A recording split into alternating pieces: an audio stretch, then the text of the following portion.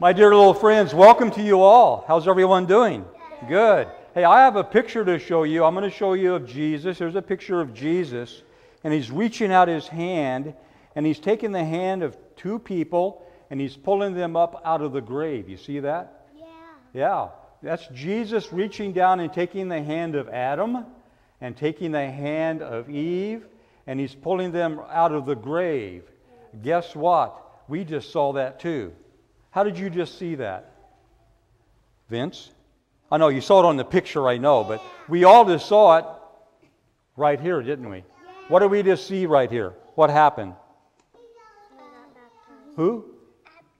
Etta. Etta was baptized. Etta was baptized, and just like you see on the picture, Jesus came to her and he took hold of her hand and he lifted her right up out of the grave because she was dead Actually, he put, her to, he put her to death, and then he raised her to newness of life. That's what Scripture tells us. This is what baptism is. It's, he, he gave her new life. Just as he took Adam and Eve out of the grave, God, Jesus, has just taken Etta Jane out of the grave. Isn't that wonderful? We should rejoice over that. Because what has Jesus done for Etta right here? He has given her new life, and what else has he done? He's washed away her sins. He's washed away her sins. That is Eve. And this is Adam. And that's Jesus taking them out of the grave.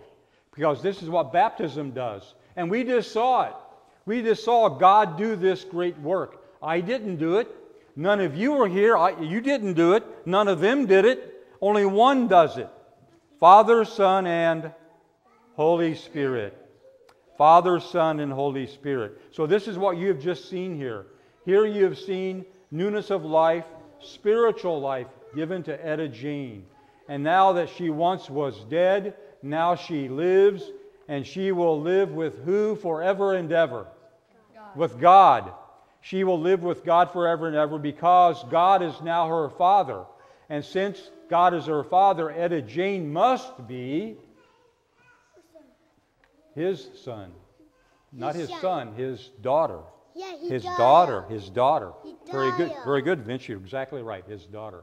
So this is what we've just seen here. We just saw God at work, and this is a wonderful and a good work that only God can do. And you know what? The same thing happened to all of you, because I remember most of you anyway, right here. The same thing happening also. So we rejoice that Jesus has done this great work. So with that, let's fold our hands. Let's fold our hands and close our eyes and let us pray. Lord Jesus, thank you for coming and taking, the hold, taking hold of, of Etta Jane's hand and lifting her from the grave and giving to her as a free gift life everlasting. Lord, you have now given her faith and you have given her trust.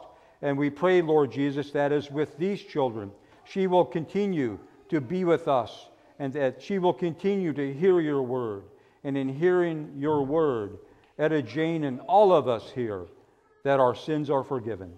Lord Jesus, we give you thanks and praise, for you are the worthy one.